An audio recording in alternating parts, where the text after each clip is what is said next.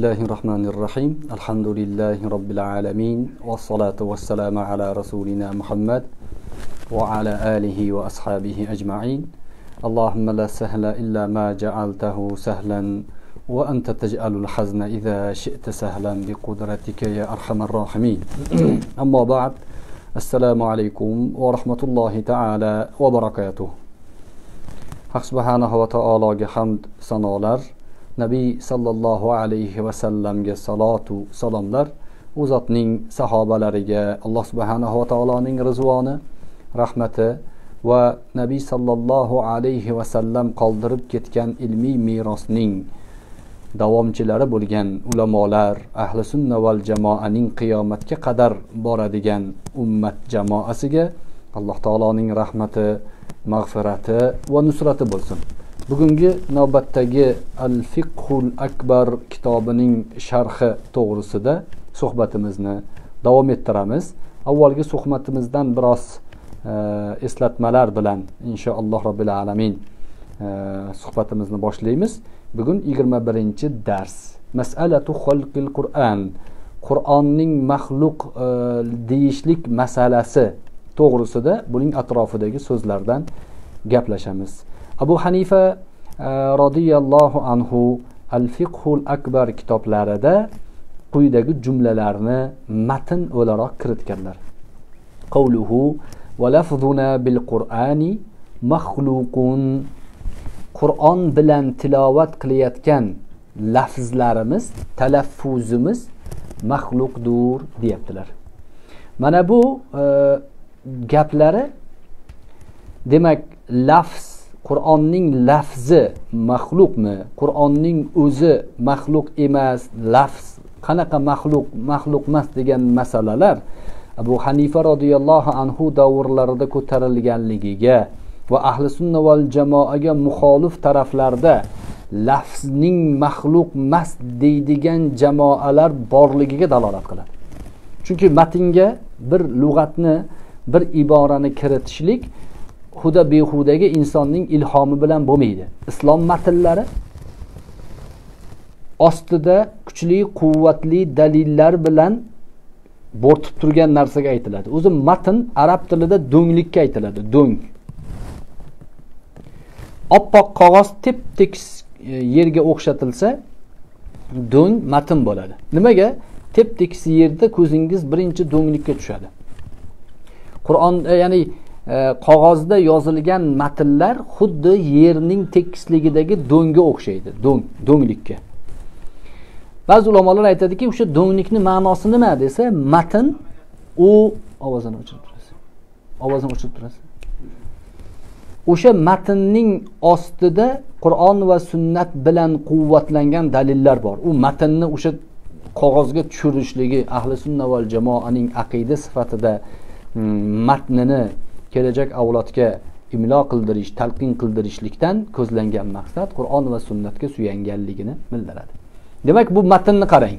Va lafzuna bil qur'ani maxluqun mana shu gap bugungi kundagi hashaviylar ya'ni o'ziga salafiylik e, nisbatini berayotgan odamlarning e'tiqod tushunchalariga raddiya. Chunki bular lafzni ham ovozni ham matnni ham hattoki ollohning kalomi qadim sifatiga ega maxluq emas deyapti. Demak lafzuna bil qur'ani maxluqun deyishlari qur'onning talaffuz qilishligimiz e, maxluq deyishlikni o'zida e, juda katta jamoalarga ahli sunnaning muxolif fikri va matniga dalolat qiladi.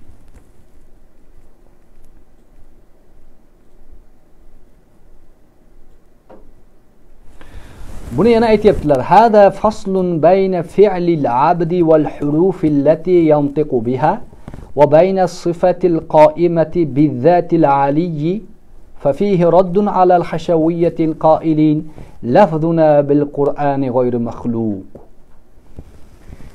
أبو حنيفة ولفظنا بالقرآن مخلوق. ديان ذا لفظنا على خدا تاكتلب جملة متن قلب يوزش لردن مقصد.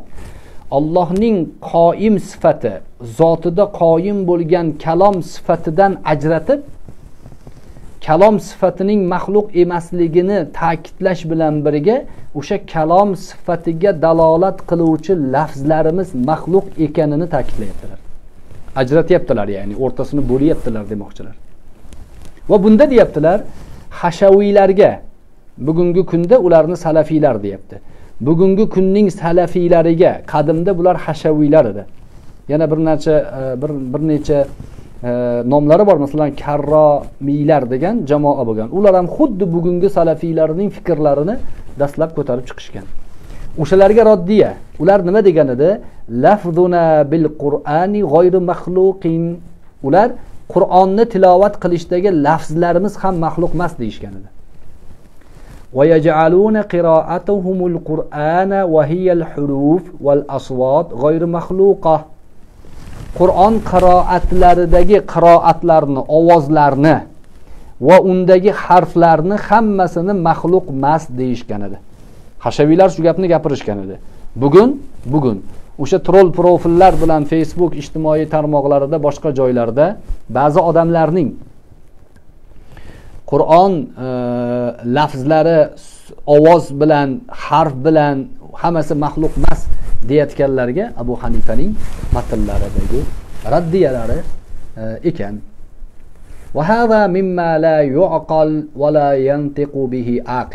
Bunaqa gap gapirish ya'ni lafzlar ham maxluq emas harflar ham maxluq emas ovozlar ham maxluq emas deyish bu aqlli odam aytadigan gap emas bu ومع هذا يقولون إن كلام الله تعالى هو هذه الحروف المؤلفة والأصوات المقطعة وأنه حال في المصاحف والألسنة والصدور وأنه مع هذا غير محلوق ular shu bilan birga aytadilarki ularning fikrlaridagi ishkol ya'ni miyalariga tugilib qolgan tugun shundan iboratki aytadilar ollohning kalomi mana shu yozilgan harflardan iborat va chiqayotgan ovozlardan iborat va ular mushaflarda yozilib turibdi tillarda o'qilganda ovoz chiqarib turibdi qalblarda yodlangan mahfuz bo'lganlari ham turibdi bular barchasi g'oyri maxluq deyishadi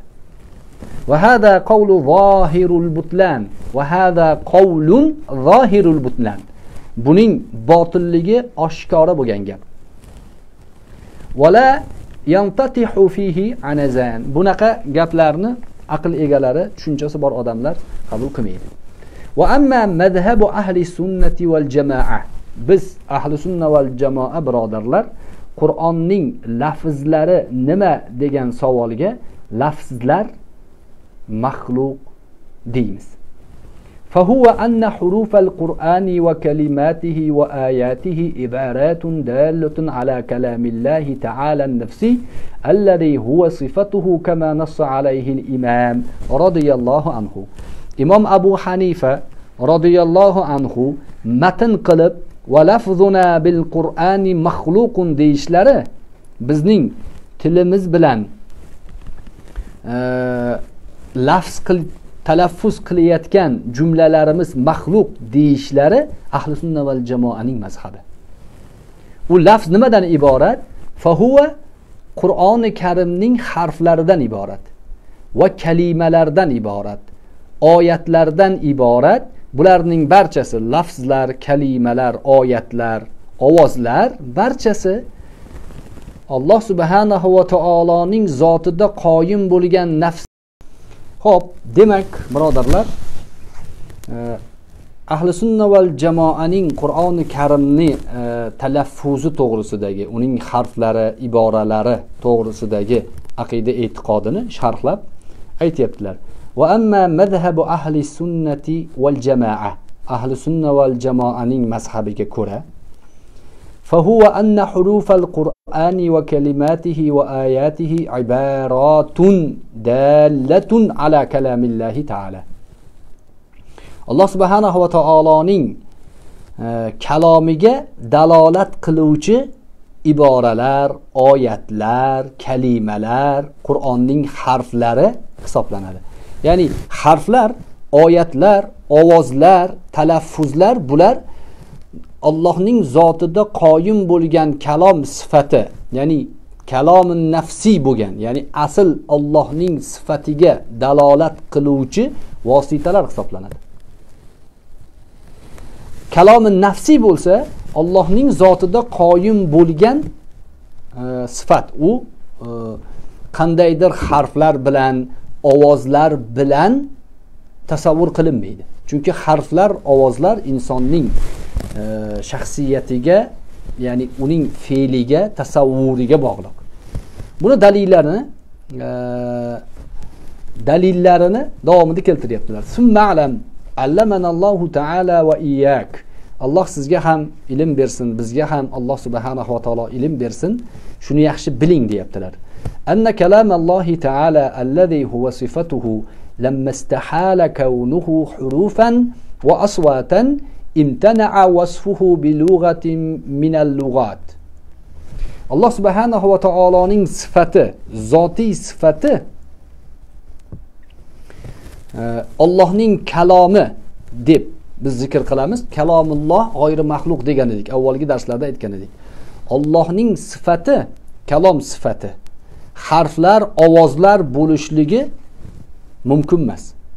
Buni tasavvur qilinmaydi. Chunki laysa kamitlihi shay. Alloh subhanahu va taolo mubolag'ali ravishda bu oyatni aytyaptiki alloh taolo hech narsaga o'xshamaydi. Allohning tamsili tashbihi yo'q. Vala tadribu lillahil amsal alloh subhanahu va taologa misol keltirmanglar.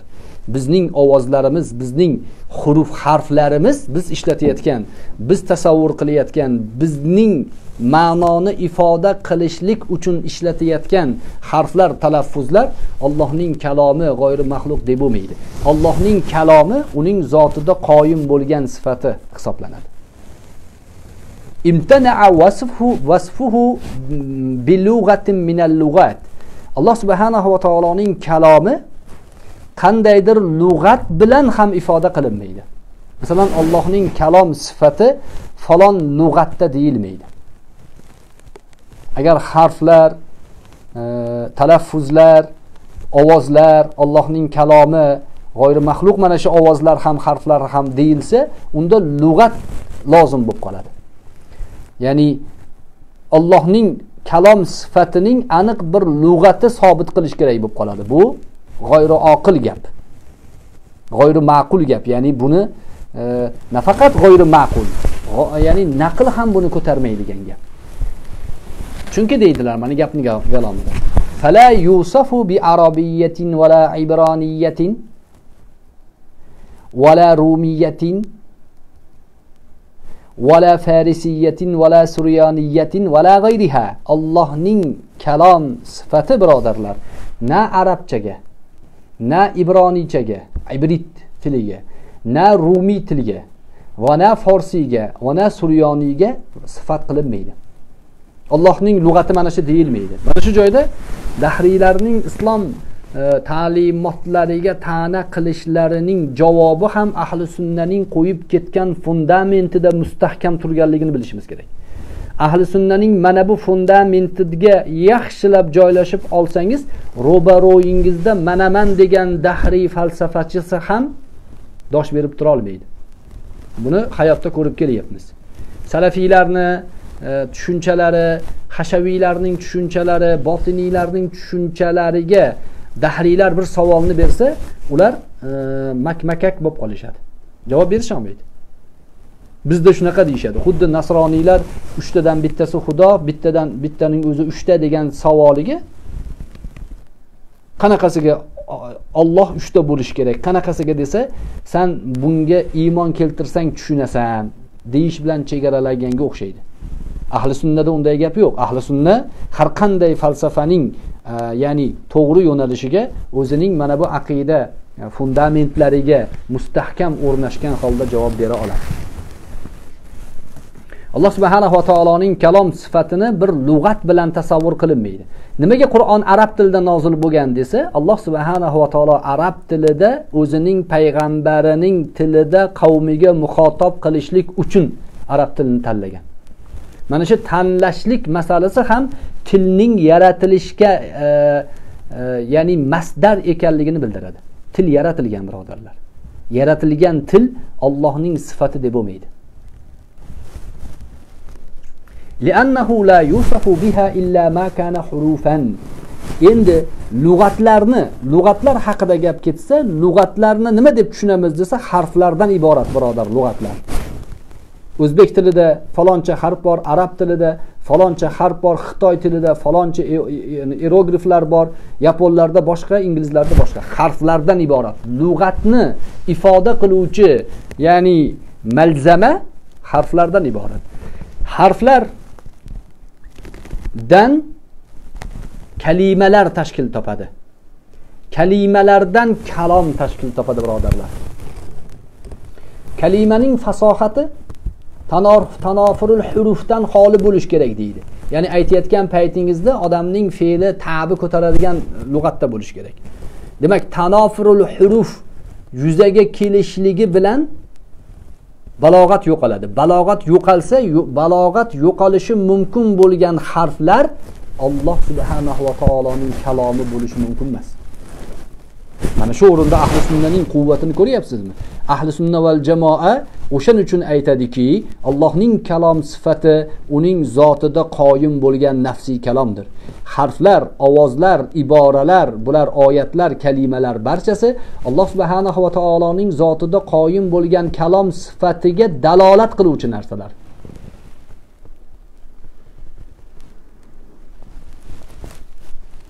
وكلامه سبحانه وكلامه سبحانه ليس كذلك فليس كذلك alloh subhanahu va taoloning kalomi demak o'zgarishi mumkin bo'lgan harflardan lug'atlardan iborat emasmi demak harflar va lug'atlar allohning kalomi bo'la olmaydi birodarlar ثم الدليل السمعي على أن حروف القرآن مخلوقة endi biz aqliy dalilni keltirdik dahriylar falsafachilar botiniylar karromiylar hashaviylar pashaviylar nashaviylar hammasi ketdi Endi biz ularning bunaqangi falsafa tug'yonlarini javobini aqliy mezonda berib bo'ldik endi bizga aytasizki bizga qur'ondan dalil keltir deysiz.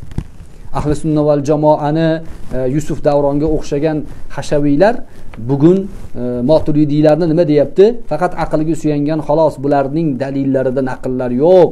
Oyat hadislar bularda beshinchi o'ninchi o'rinda turadi deb tuhmat qilyapti. Tuhmatlariga hozir birodarlar raddiya beramiz qur'oni karimda harflarning yaratilgan ekanligi yaratilgan narsalar Allohning kalomi bo'la olmasligiga Qur'onda dalillar bor. A'udhu billahi minash shaytonir rojim. Inna ja'alna inna ja'alnahu qur'anan arabiyyan la'allakum taqilun. Albatta biz deyapti Alloh taolo Zuhruf 3 ekan. Bu Zuhrufmidi yoki Yusufmidi?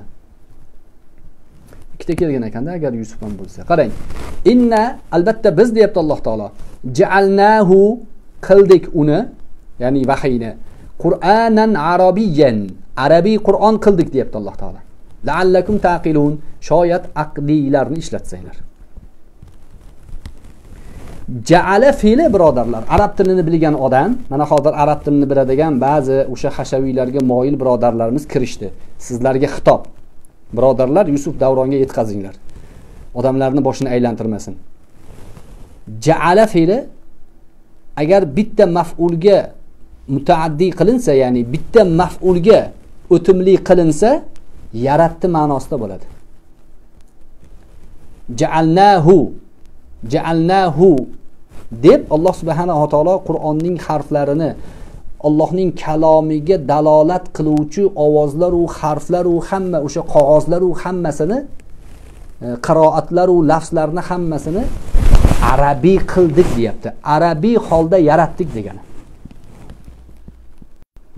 Bitta aytadi.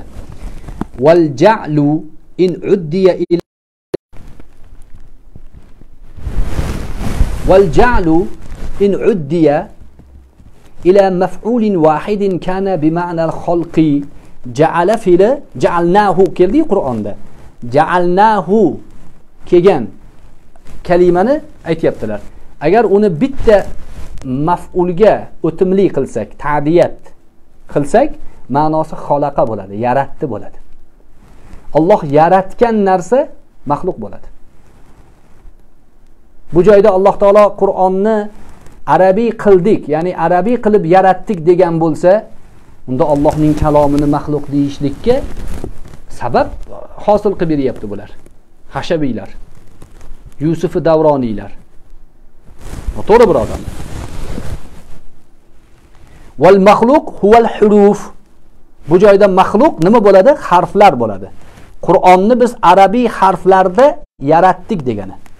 Qur'on kalomi nafsiyni allohning sifatini kalomi nafsiysining dalolatini harflarda yaratdik deyapti alloh taolo. Jaalnahu bo'lsa va majmuuha huval qur'an. Harflarning majmuasi qur'on ya'ni qiroat qilinadigan narsa. Va huwa jinsun yaqau alal qalili val kathir. Jaalaning xalaqa ma'nosi ko'pga ham ozga ham ishlatilaveradi.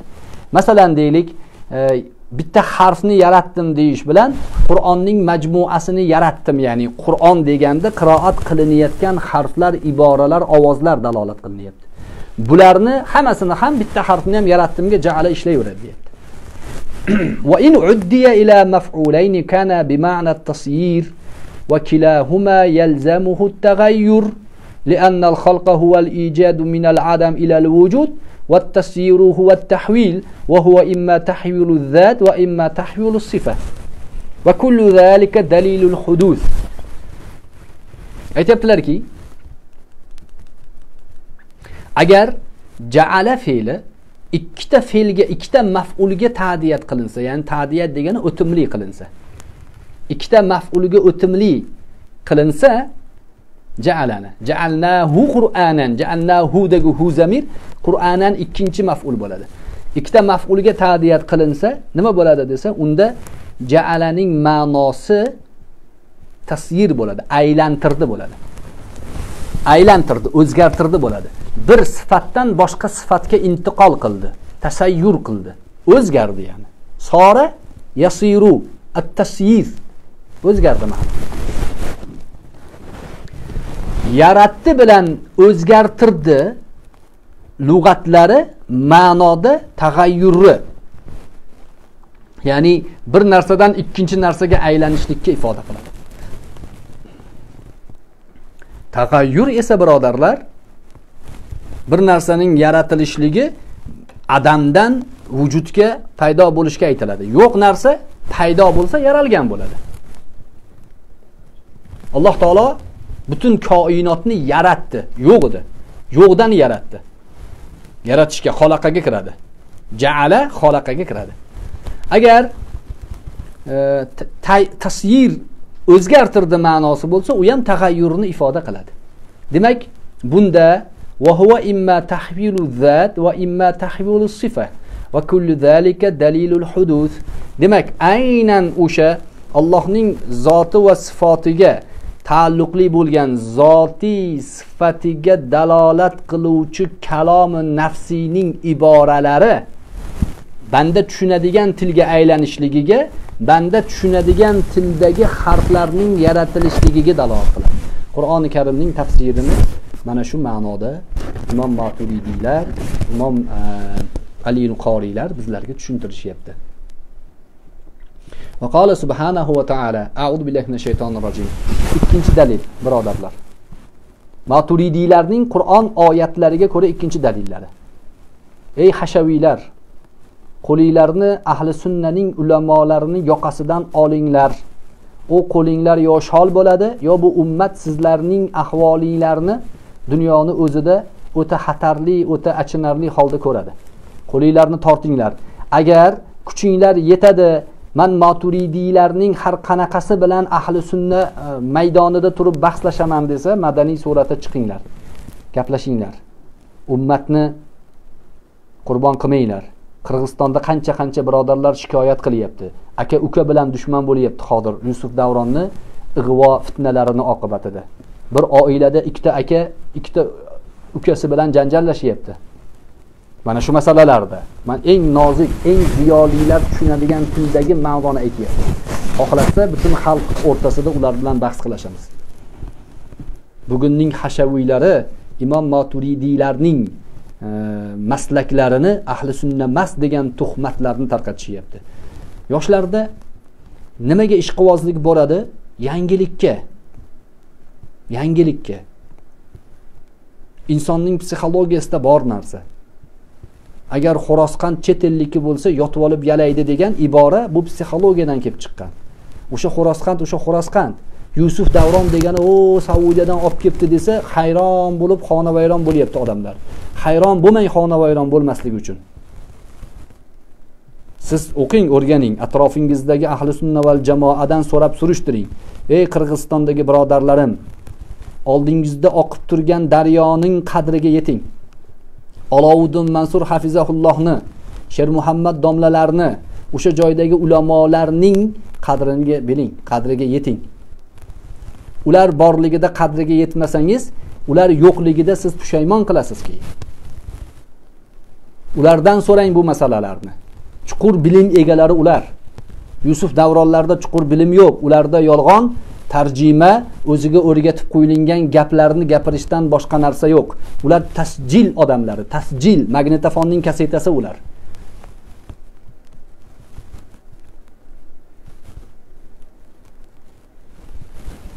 Qur'oni karim ikkinchi dalilni keltiryapti. Moturidiylar qur'oni karimning harflari maxluq ekanligiga. Audu billahi minash shaytonir rojim. ولو جعلناه قرآنا أعجميا لقالوا لولا فصلت آياته أعجمي وعربي أعجمي وعربي qiroatda birinchi hamza yarim o'qiladi ikkinchi hamza budul o'qiladi bu qiroatning turli xil turuqlari bor lekin qur'onning bu oyatidagi ma'no fussilat surasi qirq to'rtinchi oyat darsimizni tinglayotgan birodarlar tafsiri hilol yoki alovuddin mansur hafizahullohning yoki abdulaziz mansur e, hafizahullohning yoki irfon nomidagi hazrat e, muftiy hazratning tafsirlarini ochib ko'rishsin. Kuchli tafsirlar bugungi kunda o'zbek tilida juda tagida fundamenti kuchli bo'lgan tafsirlar bular. Fussilat qirq to'rni ochib ko'rishsin. Alloh taolo aytyapti. Mushriklar nabiy sollallohu alayhi vasallamga iymon keltirmaslik uchun turli xil bahonalarni qilishgan. Ba'zilari aytganki osmondan farishta tushsa bo'lmasmidi nimaga bizni ichimizdan payg'ambar chiqdi degan bahonani qilishgan. Insondagi shaxsiy g'araz shaxsiy tushuncha birodarlar haqni qabul qilmaslik uchun ko'zni yog' shaxsiy tushuncha yomon birodarlar. Shaxsiy e, asabiyalik. Man daa ila asabiyatin falaysa minna deganlar payg'ambar alayhissalom. Kim shaxsiyatlikka qavmiyatlikka milliyatchilikka chaqirsa mandan emas deganlar. Nimaga? Millatchilik shaxsiyatlik nafsoniyatlik insonni haqni ko'ra olmasligiga olib boradi abu jahl nabiy sollallohu alayhi vasallamning haq payg'ambar ekanliklarini bilardi. E'tirof qilardi. Umrida yolg'on gapirmaganligini bilardi e'tirof qilardi. Omonatdor zot ekanliklarini e'tirof qilardi. Nasablari o'ta ulug' ibrohim alayhissalomga borishligini e'tirof qilardi bilardi. Faqat quraysh qabilasining ichida katta o'n ikkita batnning o'n ikkita urug'ning bittasi hoshimiylar nabiy sollallohu alayhi vasallamning urug'i bittasi abu jahlning urug'i. Amakivachchalar alohida urug' ular. Ya'ni ota yuqoridan bitta urug'lar har xil bo'lib ketgan. Abu jahl aytardiki muhammadning urug'idan ya'ni hoshimiylardan bir shoir chiqsa albatta biz o'zimizning qavmimizdan shoirlarni chiqarardik pul tikib. Harakat qilib bir odamni topib bizni qavmimizdan bitta shoir chiqishi kerak. Nimaga? Hoshimiylardan orqada qolmasligimiz kerak. Ulardan bir chavandoz chiqsa bizdan o'sha chavandoz chiqardi. Ulardan bitta bahodir chiqsa biz majbur o'zimizdan bahodirni chiqarardik. Nogahon ulardan payg'ambar chiqib qoldi. Endi bizdan to payg'ambar chiqmaguncha ularga iymon keltirmaymiz deyishardi. Abu jahlning davosini ko'ryapsizmi? Abu jahl iymon keltirmaslik uchun nafsiy shaxsiy ya'ni fikrini haqning ro'barosiga muxolif o'laroq qo'yyapti. Eng katta xatar birodarlar.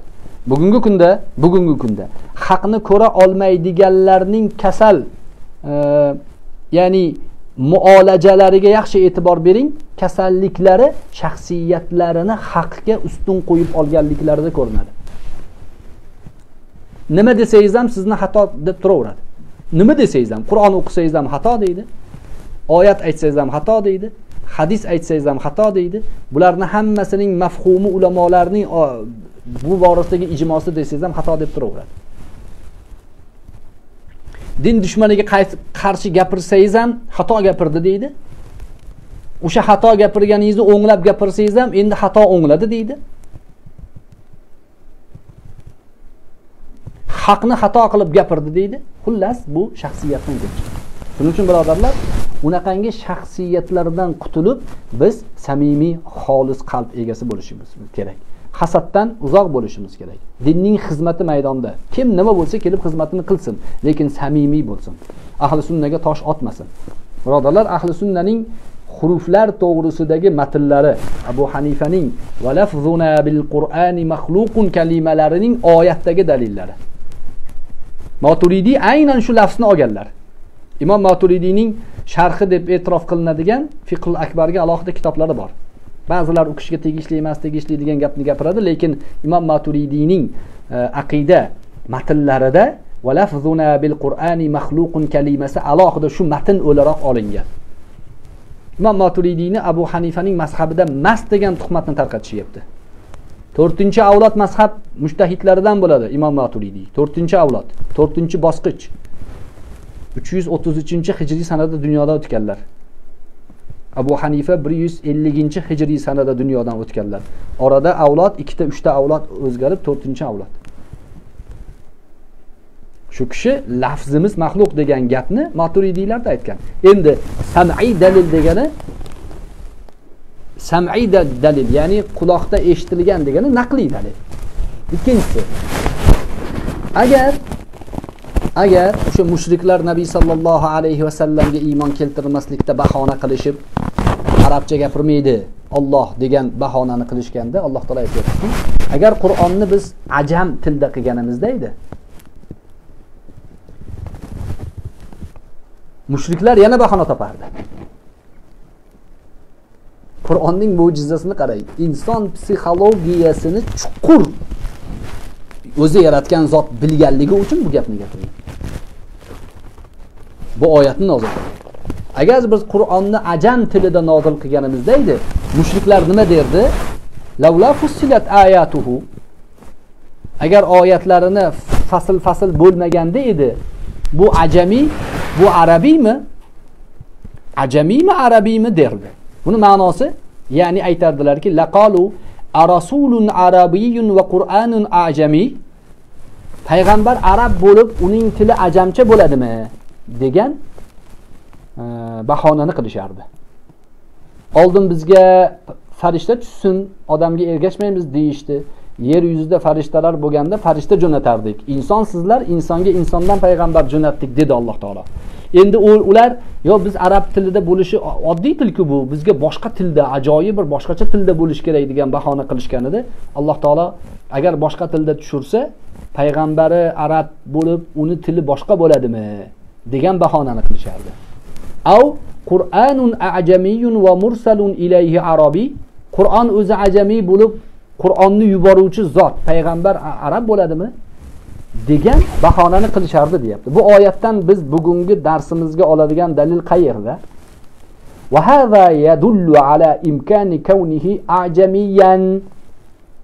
Mana bu oyat qur'on oyatlarining alloh taolo xohlaganda arab tilida emas ajam tilida ham nozil qilishlikka qodir zotligiga dalolat qiladi fikringizda yaxshi ushlab turing shu gapni alloh taolo o'zining vahiysini arab tilida emas ajam boshqa tilda Alloh irodasi qodir zot o'zbek tilida ham Qur'on nozil qilishi mumkin edi. O'sha mumkinni bu yerda لولا فصلت آياته أعجمي وعربي ديفته.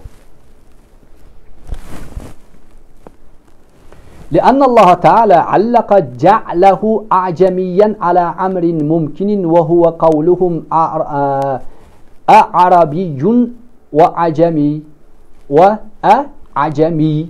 معنى شو؟ يعني الله تعالى جعلنا كلمة yarattik yok يوكيت aylantirdik degan kalimani qur'on ajamiy qilganimizda edi deyapti.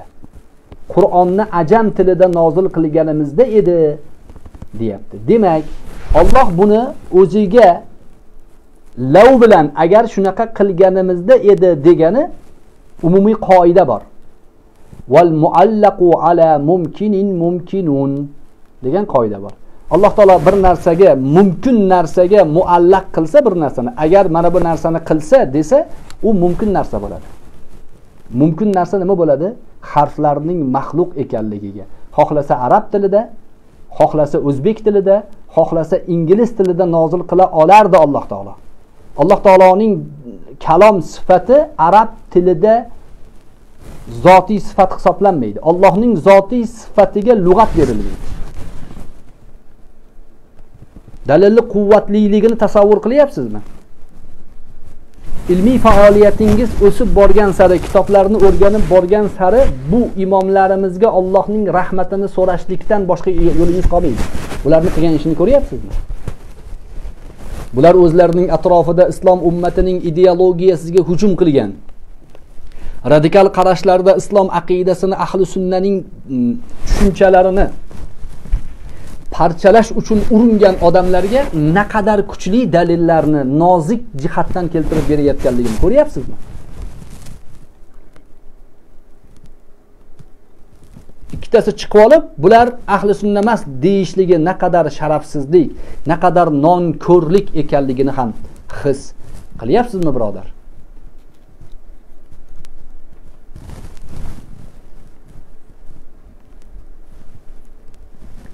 إذ علة إذ علة كونه عربيا تحدي العرب المنزل إليهم القرآن على أن يأتوا بمثله بسبب عنادهم. وليدبروا وليدبره وليدبره المؤمنون به. alloh taolo arab tilida nozil qilishligidan tashqari o'sha harflarni arablarga tahaddiy sifatida ya'ni e, duelga chaqirish ma'nosini ham qur'onda nozil qildi. Xuddi shu qur'onga o'xshagan bir sura keltiringlar dedi. Va suralarning bir nechasida boshlanishligini harflar bilan boshladi. Alif lam ro tilka ayatul kitabil mubin dedi. Alif lam ro harflar bular. Va mana shu harflarni logikasi bor. Ya'ni ishoraviy tili bor. Bu kalomi nafsiyning bandalarga dalolat qiluvchi ma'nosi bor harflarda. Va harflar yaratilgan. Arablarga aytyaptiki alloh taolo mana shu harflar sizlar iste'molinglardagi jumlalar tuzasizlar bu harflar orqali. Sizlar ham qur'onga o'xshagan bir narsa keltiringlarchi. Qur'onning jumlasi tuzilishi ma'nosi lafziy ma'nodagi talaffuzi biz iste'mol qilayotgan lug'atlar barchasi Allohning asl zotida qoyim bo'lgan kalom sifatiga dalolat qiladi nafsiy kalomga. Va harflar maxluq deyiladi.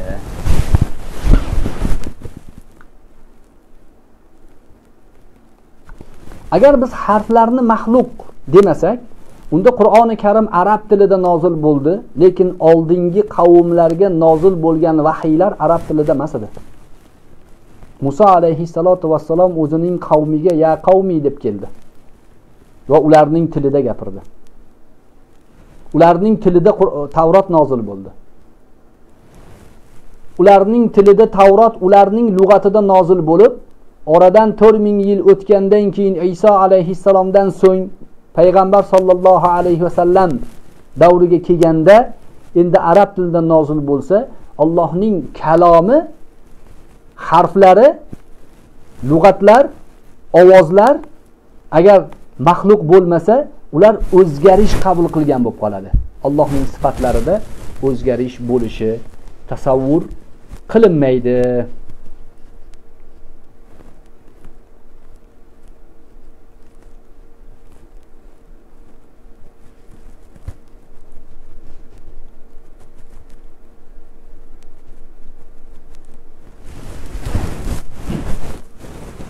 bu joyda endi tarixni biroz zikr qilyaptilar tanbeh مسألة اللفظ ليست بدعا من القول كما يروجه البعض فهذا إمام الأئمة أبو حنيفة رضي الله عنه وهو من رؤوس التابعين قد تكلم فيها وذهب إليها tanbeh ogohlantirish ko'zingizni yaxshi oching shu joyda bir narsa bor tarixiy haqiqat bor demoqchilar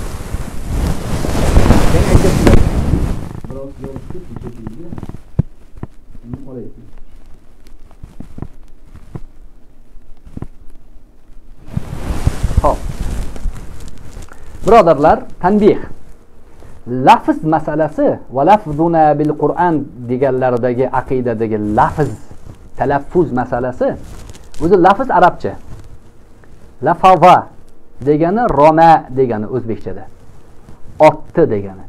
Bizni og'zimizdan chiqayotgan ovozni tashqariga otilib chiqishligi kalimaning otilib chiqishligiga majoz istiora sifatida ishlatiladi. Lafz kalimasi birodarlar ma'noga dalolat qilsa ham ma'noga dalolat qilmasa ham ishlatilaveradi. Og'izdan nima chiqib ketsa lafz bo'ladi. Bir gilosni yeb danagini tuplib tashlasangiz o'sha tuplangan danak lafz bo'ladi. Laffaztu deysiz tuplab tashladim degani. Ma'no danakda ma'no yo'q. Lekin og'izdan chiqadigan ma'noga dalolat qiluvchi e, jumla qovul deyiladi. Qovul faqat ma'noga dalolat qiladi. Lafz ma'noga dalolat qilmasa ham ishlatilaveradi. Og'izdan chiqqan narsa lafz. Lafz masalasi ya'ni lafz yaratilganmi yaratilmaganmi degan masala yaqinda paydo bo'lgan. Ba'zilar bugun ham aytadi. Yusuf davrulladan so'ranglar lafz masalasi keyin ko'tarilgan. Imom moturidiylar davrida ko'tarilgan. Ular bu masalalarni e, o'zini aqliy falsafiy gapi bilan chiqargan deydi. Yo'q birodarlar. Va lafzuna bil qur'ani maxluqun matni abu hanifadek zotlar paytida ko'tarilyapti. Demak atrofda bo'lgan lafzni ustida ancha mujodala mubohasalar bo'lgan. Bu zot aytyaptilar abu hanifani tobiiylarning peshvolaridan deyaptilar lekin ulamolar bu borada ixtilof qilishadi. Abu hanifa roziyallohu anhuni tabaa tobiin ekanliklarida ixtilof yo'q lekin tobiiy ekanliklarida ixtilof bor. Chunki to'rtga yaqin sahobani ko'rganlar sahobani ko'rish insonni tobiiy bo'lishligining sifatlaridan biri. Lekin sahobani ko'rib undan rivoyat qilish ham shartlaridan biri. Va yana bitta sharti sahobani ko'rganda balog'atga yetgan undan eshitganni rivoyatni yetkazishsa balog'atga yetgan bo'lishi kerak deydi. Mana bu shartda ixtilof bor ba'zi ulamolar aytadiki sahobadan eshitgan gapi balog'at yoshiga yetishlikni majbur qilmaydi. Balog'atga yetmagan o'n yosh to'qqiz yosh sakkiz besh yoshlik bola ham aqli joyida. Sahobadan bir narsani eshitdi. Lekin o'zidan keyingi shogirdlarga rivoyatni yetkazayotganda balog'atga yetgan bo'lsa u tobiiy bo'laveradi deydi. Mana shu joyda ixtilof bor. Shuning uchun e, abu hanifani tobiiylardan deydilar ba'zi ulamolar. Bu zot o'sha tobiiylardan ekanliklariga urg'u beryaptilar. Chunki balog'atga yetgandan keyin e, sahobalardan eshitgan hadislarini musnatlari bor abu hanifani. O'zlari hadis rivoyat qilganlar. E, Tobiiylarning ruusi deyaptilar. Qad takallama fiha va zahaba ilayha. Demak abu hanifa buni gapiryaptilar. Va lafzuna bil qur'ani maxluqun kalimasini abu hanifa gapiryaptilarmi? Bu gap bo'ldi demak. Qadimdan bor ekan bu narsa. Buni ustida ishlangan. Lafz biz u haqida gap ko'tarmaymiz degan gaplar ro'baro'yingizda muxolif paydo bo'lgan paytida yaramaydi javob o'laroq yaramaydi lafz haqida ularga yetarli qanoat hosil qiladigan javobni berish kerak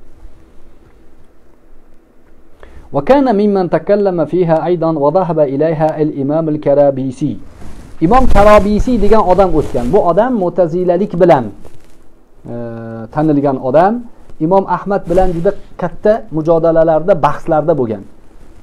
Imom ahmad roziyallohu anhu ahmad ibn hambal ismi bilan mashhurlar hambaliy mazhabining mushtahidlaridan u kishi imom ahmadga nisbatan biroz kamsitish bilan muomala qilganlar. Ya'ni imom ahmadni oldilariga bir kishi kelib istavo masalasida qur'on maxluqmi maxluq emasmi degan masalalarda turli gaplarni gapirganda u kishi bu masalalar bid'at deganlar. Buni ko'tarmanglar. Ya'ni qadimda o'tmagan degan masalani gapirganlar. Lekin shorih aytyaptilarki bu avvalgilar aytmagan degan ma'noda emas. Saddu zaroya degan qoida bor. Zararlarni eshigini berkitish uchun aytgan u kishi. Bu masalani ko'taraversak rivojlantiraversa odam ichiga fitnalar ko'payadi. Buni oldini olish uchun buni masalalarni bid'at deb aytganlar. imom buxoriy ajjarhu va tadil kitobida ibn abi xotimni jarh va tadil kitoblarida imom buxoriydan ham bu haqida gapirganliklari rivoyati bor u kishi ham demak e, lafz haqidagi ahli sunna val jamoaning fikrlarini aytganlar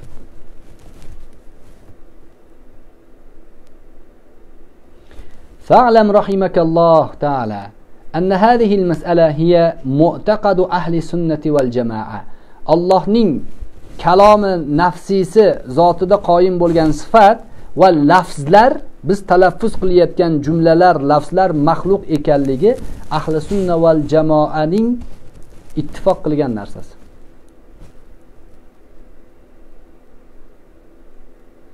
حتى الإمام أحمد رحمه الله تعالى وإنما كان قد منع من الخوض فيها سدا للذرايع كما نص عليه الإمام أبو اليسر البزدوي لكن ما سده أحمد هدمه أكثر أتباعه والمستترين بمذهبه.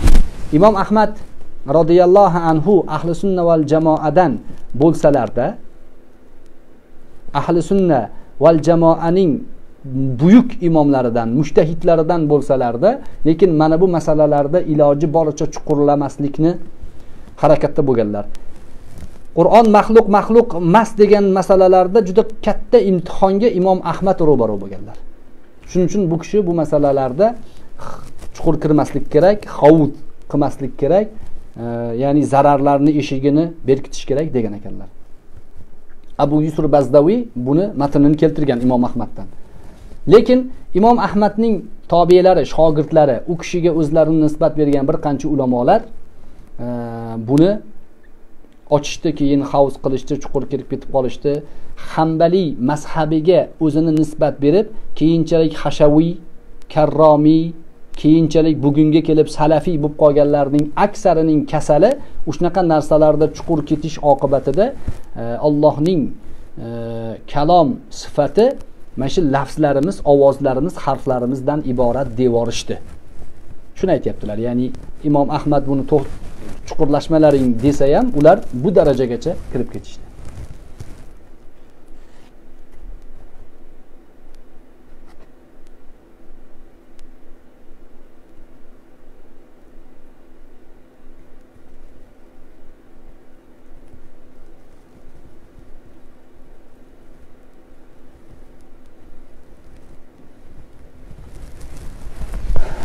قال الحافظ الذهبي إمام ذهبي برلر بكشيم إمام ابن تيمية نين شاقرت لردن سير أعلام النبلاء ديان مشهور كتاب لربار شو كتاب تايت يبتلر ولا ريب أن ما ابتدعه الكرابيسي وحرره في مسألة في مسألة التلفظ وأنه مخلوق حقا لكن أباه الإمام أحمد لئلا يتذرع به إلى القول بخلق القرآن fasaddal bab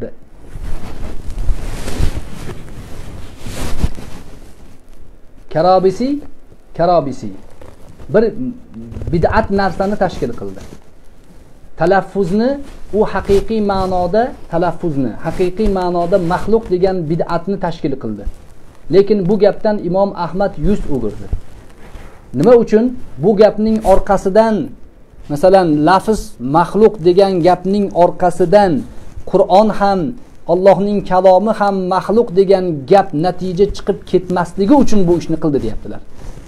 Ya'ni bu bilan Imom Ahmad talaffuzni maxluq emas dedi demoqchi emas Imom Zahabiy.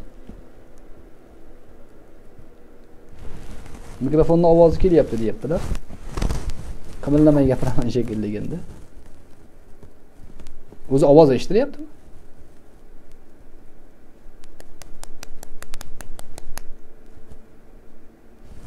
mikrofonni bekitib qo'yganman o'shanga ovoz kelyapti shekilli sizlarga.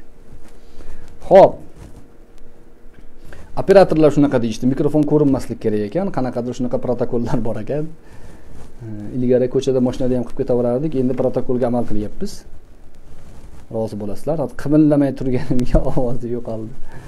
Ho'p demak shu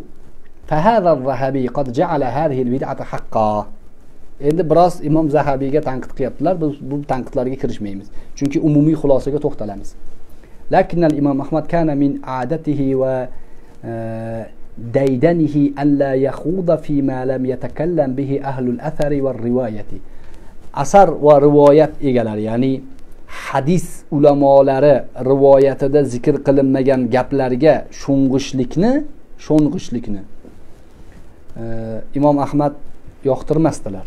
O'shaning uchun bu gapni e, to'sdilar oldin yo'q bidat bu dedilar. Ollohning kalomini ollohning kalomining lafzi biz qilayotgan lafz bu maxluq degan odamga ham bu gap bidat dedilar. Ya'ni lafzni maxluq ekanligini tasdiqlamayaptilar. Gap mavzu bidat dedilar.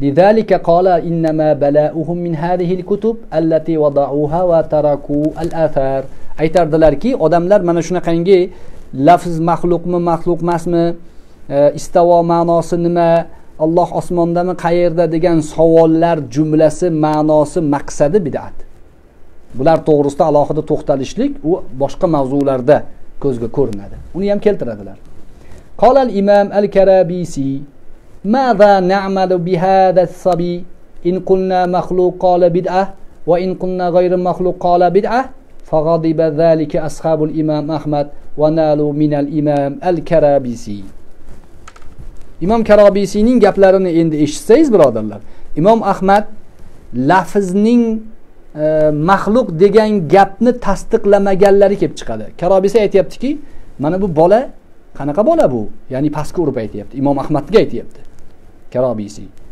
imom ahmadni ko'rsatib bu qanaqa bola maxluq desak bidat deydi maxluq maxluq mas desak bidat deydi bu qanaqa bola deganda imom ahmadni shogirdlari borib yoqasidan olishgan ekan dangillatishgan ekan xullas karabisiyni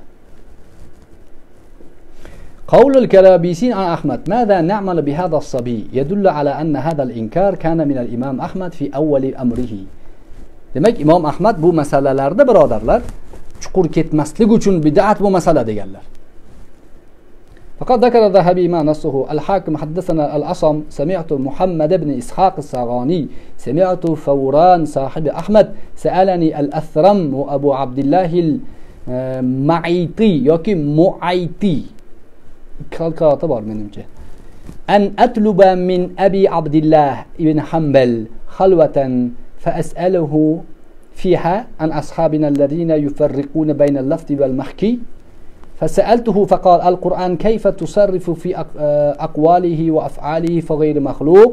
فأما أفعالنا مخلوقة قلت فقلت فاللفظية تعدهم يا أبا عبد الله من جملة الجهمية فقال لا. الجهمية الذين قالوا القرآن مخلوق. umumiy ma'nosini aytaman birodarlar imom ahmadning o'g'illarini oldiga abdulloh degan o'g'illari bo'lgan imom ahmadning asosiy rivoyatlarini shu o'g'illaridan kelgan ko'pi. Abdulloh ibn ahmad ibn hambal rahimaulloh deb zikr qilinadi. Imom zahabiy siqa deganlar bu kishini ishonchli zotlaridan otaning ilmini ko'p tarqatganlar. Ba'zilar ba'zi ta'nalarni qiladiyu lekin u ta'nalar e, u kishiga qadah bo'lolmaydi shu kishidan kelib so'rashgan. Lafz bilan mahkiyni mahkiy degani hikoya qilinayotgan ma'no. Lafz bilan hikoya qilinayotgan ma'noning o'rtasini nimaga ajratgan ashoblarimiz ya'ni hambaliylar lafz maxluq hikoya qilinayotgan ma'no maxluq emas degan gapni nimaga ajratgan? Bizni fe'llarimiz lafzlarimiz maxluq degan shunda.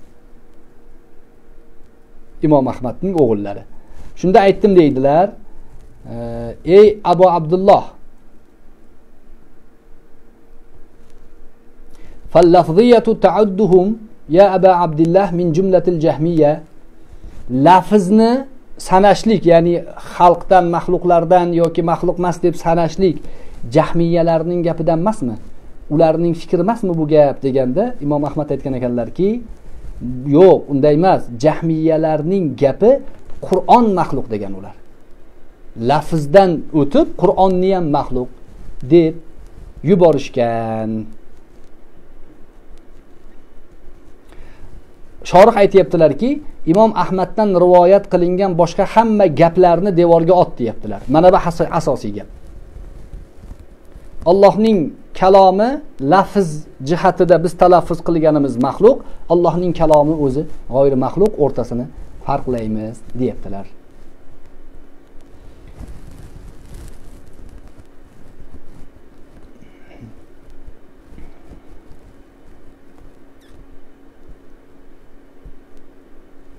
Tepadan birin bir qancha qaytarib kelayotgan gaplarini aytyaptilar. Imom ahmaddan keltirilgan umumiy gapni xulosasini aytamiz. Oxirgi gapimiz shu birodarlar bugungi darsga. حيث فرق بين اللفظ الذي هو حروف وأصوات وبين المحكي وهو المدلول والمحكي كلام الله وهو صفته سبحانه والألفاظ دالة عليه فأين المستترون بمذهبه المدعون اتباعه لكن حسبنا حجة وقدوة قول إمامنا الأعظم والحبر المقدم بذلك lafz birodarlar maxluq. Lafz dalolat qilayotgan hikoya qilib ya'ni ma'noga ishora qilayotgan kalom g'oyri maxluq. Bugungi darsimiz mana shu joyda uchta nuqtalanadi. Keyingi darsimizda e, davom etamiz. Keyingi darsimiz kitabatuna lahu maxluqa. Bu jumlalarni avval ham o'tgan edik lekin yanada dalillar bilan davom ettirishlikni qaror qilyapmiz. Yangi sananing birinchi darsi mana shu joyda yakunlandi. Bizlarni sabr bilan tinglaganinglar uchun alloh subhanahu va taolo bu sabringlarga ulkan ajru jazil ato qilsin. Jannatda firdavsul mavolarda nabiy sollallohu alayhi vasallamning halqalarida birga yuzma yuz muqobil bo'lib jannatning abadiy bog'chalarida sayohat qilishligimizni alloh subhanahu va taoloning o'zi nasib قلسن سبحانك اللهم وبحمدك. نشهد أن لا إله إلا أنت ونستغفرك ونتوب إليك. وآخر دعوانا أن الحمد لله رب العالمين. السلام عليكم ورحمة الله وبركاته. حينما رددت يا رب العباد وانتشت روحي